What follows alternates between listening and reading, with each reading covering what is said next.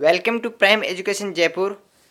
खुशखबरी 2018 2018 के राजस्थान के अभ्यर्थियों के लिए सबसे बड़ी खुशखबरी R S M S S B L D C दो हज़ार अठारह जल्द जारी होगा नोटिफिकेशन राजस्थान के सभी अभ्यर्थियों को सूचित किया जाता है कि R S M S S B L D C दो हज़ार अठारह की भर्ती प्रक्रिया अंतिम चरण में है और 25 जनवरी 2018 के बाद कभी भी आवेदन प्रक्रिया शुरू हो सकती है। ये सूचना प्राइम एजुकेशन जयपुर के इंटरनल सोर्सेज से प्राप्त हुई है। अतः सभी अभ्यर्थियों को कन्फर्म किया जाता है कि वे तैयारी जारी रखें। Prime education Jaipur.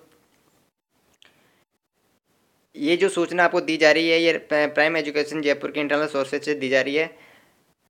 इसका जल्दी 25 जनवरी के बाद नोटिफिकेशन जारी कर दिया जाएगा। कभी भी जारी हो सकता है 25 जनवरी के बाद।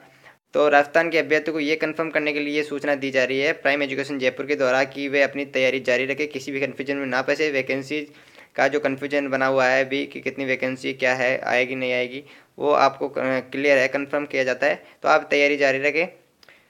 Thanks for watching this video. Please like and share the video for more videos. Please subscribe the channel.